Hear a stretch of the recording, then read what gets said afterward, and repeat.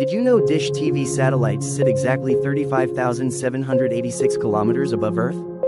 Here's the secret if we put a satellite too close to Earth, gravity pulls harder.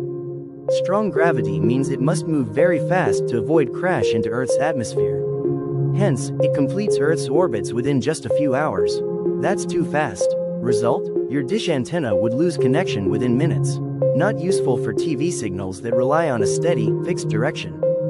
Put it too far, and it moves too slow. Earth spins faster, the satellite falls behind, and your dish loses the signal again. To appear at stationary or fixed relative to an observer on the ground. The satellite's orbital period has to be equal to the Earth's rotational period, which is approximately 23 hours, 56 minutes, and 4 seconds. Therefore, 35,786 kilometers is the sweet spot where height, gravity, and speed balance perfectly. The satellite orbits once in 24 hours, matching Earth's rotation.